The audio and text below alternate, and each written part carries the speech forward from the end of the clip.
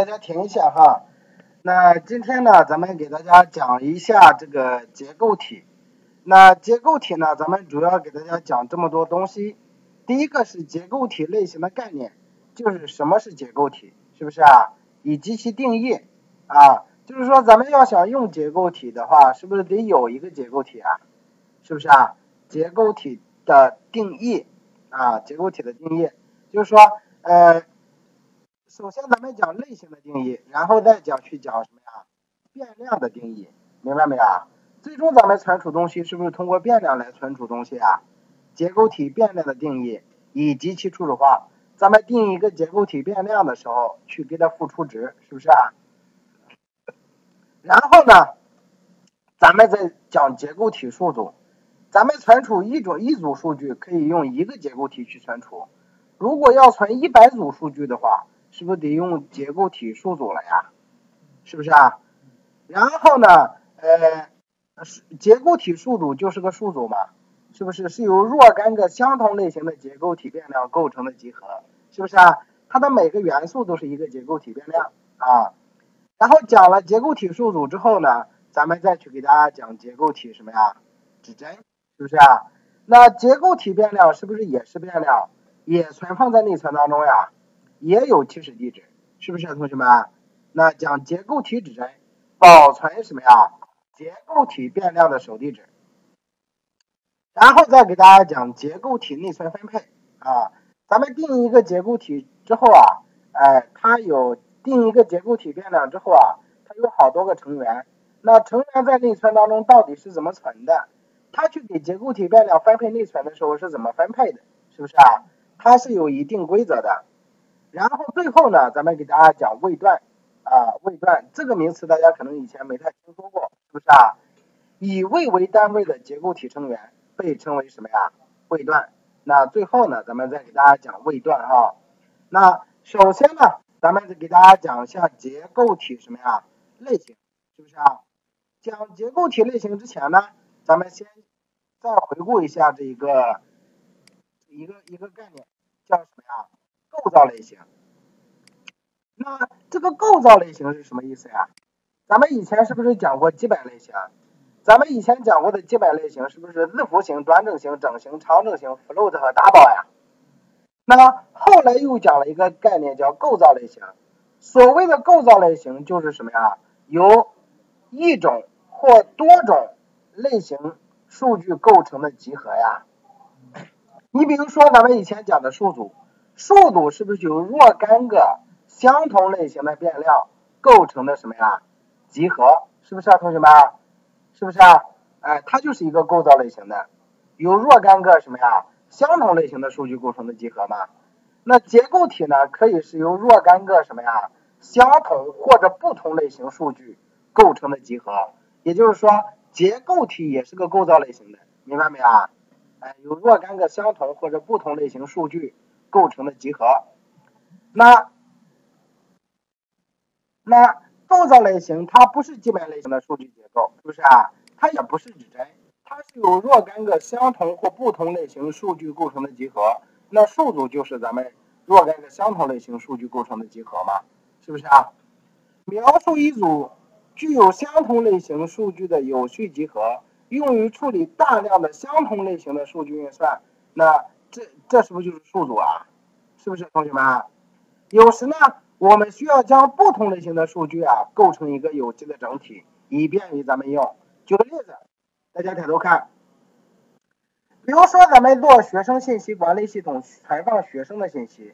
那学生的信息有什么呀？有整形的 number 字符数组型的这个 name 存姓名的，字符型的变量存性别的。整形的变量存年龄的，有字符数组类型的这个数据存地址的，是不是啊？如果说，因为它们的类型是不是不一样呀？用以前的知识，我是没法定一个数组将所有的东西存起来了，因为类型不相同，是不是啊？以前的知识是不行，是不是啊？如果要保存一个学生的信息，要定这么多变量和数组的话。那我要存出两个、三个、四个、五个、一百个学生的信息的话，是不是咱们的那个定义变量将会变得很复杂呀？是不是啊？咱变量和数组的定义是不是变得很复杂，不太好定义啊？那我要定义一个学生要定义这么多东西，那两个、五个学生的话，是不是就这么多变量了呀？肯定写程序不合理，是不是啊？所以说呢，哎，C 语言呢就发明了什么呀？结构体，是不是啊？发明了结构体，啊，发明了结构体。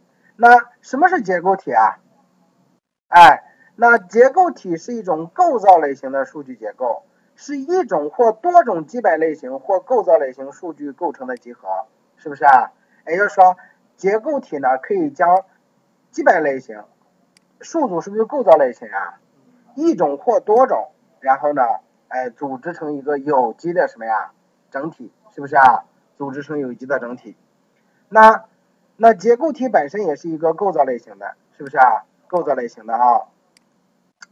那，呃，接下来呢，咱们再去给大家讲结构体类型的什么呀定义哈。那什么叫做结构体类型？那你看同学们，咱们平常用整形变量传数据 n u b 等于一百的时候，是不是用 int 去定义这一个什么呀？是不是整形变量呀？你用 int，你用 int 去定义的变量，是不是都是整形的变量？你用你用 float 去定义的变量是不是都是浮浮点型的呀？是不是同学们？这个类型是不是就类似于一个模具？用模具去做做出很多相同类型的变量出来。那结构结构体类型呢，和整形一样，它也是个类型，也相当于一个模具，是不是啊？哎，举个例子，啊，举个例子，那。这个结构体类型类型啊，类似于一个模具，是不是啊？大家这个中秋节是不是都吃月饼啊？这个月饼是怎么做出来的？是不是他先先用木头或者是用用金属，是不是做一个模具出来呀？做一个模具，模具上是不是刻着花纹？然后你用那一个面，哎，面摊成饼，然后包上馅儿，然后包起来之后呢？是不是放到模具里一压，扣出来就是一个带花纹的月饼？那用相同的模具造出来的月饼是不是都是一样的？是不是？虽然馅儿不一样，但是形状是不是外外观是一样的呀？是不是？那这个结构体类型是不是就类似于那个模具？啊？那结构体变量就类似于那个月饼吧？月饼里边是不是包了馅儿？存储的东西啊？是不是，同学们？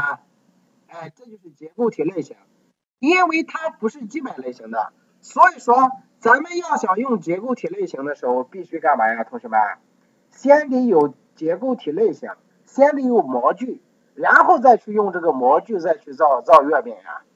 有了结构体类型，咱们再去用这个类型再去定义什么呀？是不是变量呀？是不是同学们？哎，这个了解一下哈。哎，就是说讲到。这个地方的时候，大家基本上清楚什么是结构体了。结构体是一是一种构造类型的数据结构吧，是由一种或若干种数据构成的集合，是不是啊？集合，是不是同学们？哎，这就是结构体的概念啊，结构体的概念。那结构体类型的定义方法，咱们这个一会儿再讲哈。